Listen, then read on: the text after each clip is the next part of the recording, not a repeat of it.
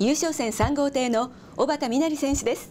よろしくお願いします。お願いします。準優勝戦は2コースからコンマ07のスタートで差し切っての1着。計5勝を挙げて優勝戦に勝ち上がってこられました。今節の足の仕上がりはいかがでしたか？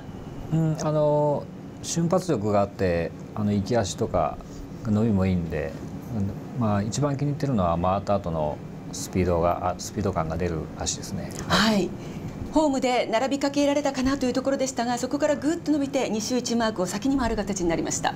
まあ何度かね1着取れましたね、はい、はい、今回は協力機の46号機も出ているんですが前検日からご自身のエンジンもまずまずだなとおっしゃってました。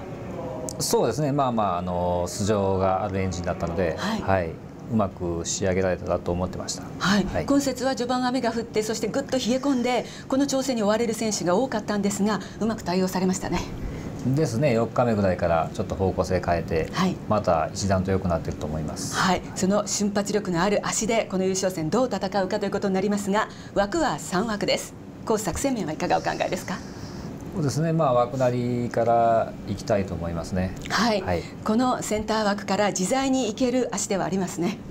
うん。あのー、回り足なんかしっかりしてるんで、はい、まああの優勝戦思い切って攻めていきたいと思います。はい、スタートの方も決まってますしね。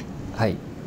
はい、わかりました。今年はこれが5回目の輸出で2月の芦屋、7月の下関に続く3回目の優勝がかかる一戦です。ファンの方に一言お願いします。